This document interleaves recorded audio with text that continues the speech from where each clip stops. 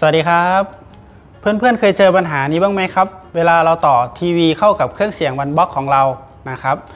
เสียงไม่ออกหรือบางทีก็ขึ้น Signal Error นะครับโค้ด01สำหรับคลิปนี้นะครับ จะแนะนำวิธีการเชื่อมต่อทีวีผ่านทางช่อง ARC เพื่อแก้ปัญหา Signal Error โค้ด01และเสียงไม่ออกนะครับ ไปทดลองดูกันได้เลยครับ หลังจากที่เราเชื่อมต่อระหว่างทีวีกับวันบ็อกนะครับ ผ่านทางช่อง HDMI ARC เรียบร้อยแล้วนะครับ ก็มาที่เมนูตั้งค่านะครับ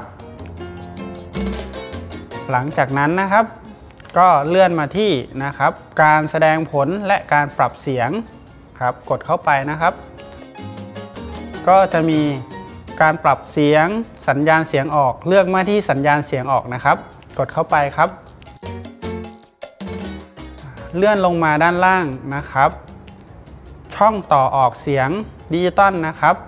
มันจะขึ้นอัตโนมัติ 1 อยู่ ให้เรากดเลือกเข้าไปนะฮะ มันจะมีอัตโนมัติ 1 2 และ PCM เราต้องมาเลือกที่ PCM นะครับวิธีนี้จะช่วยแก้ปัญหาในเรื่องของ Signal Error Code 01 นะครับ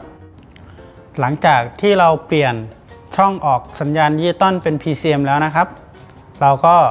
เลื่อนลงมาที่ระดับช่องต่อออกเสียงสัญญาณเสียงดิจิตอลนะครับ เลื่อนมาแล้วก็เพิ่มนะครับ ตอนแรกมันจะอยู่ที่มินนะครับ เราเลื่อนมาไว้ที่แม็กเลยก็ได้นะครับ แค่นี้เองครับ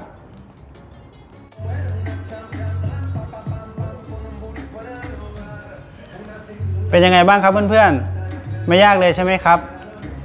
อย่าลืมติดตามพวกเราผ่านทางช่อง YouTube บอกเล่า 90 อยากบอกนะครับ ผมประสงค์ขอบคุณและสวัสดีครับ